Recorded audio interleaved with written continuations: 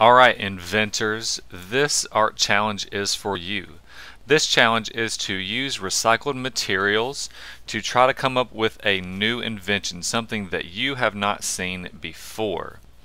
So for mine, I used an old peanut butter container and a paper towel roll, a few straws, some tape, four fruit cup containers, and an orange juice lid and inside I have some straws. And I was thinking that I would cover the whole thing with with foil to simulate metal. Um, but the idea behind mine is that I wanted mine to be like a wind powered compost machine.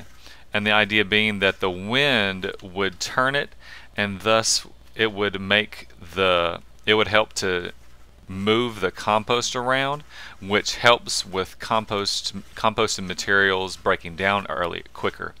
So my thought was that you could have these at homes and then you could put like your food waste in it so that it would break down faster.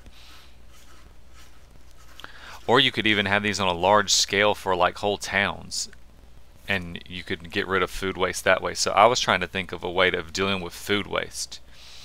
So think of a problem that you see and think of what you could do or what an invention could do that could fix it and try to make up your own little prototype, your own sort of um, three-dimensional plan of what that could look like and try to use recycled materials to do it.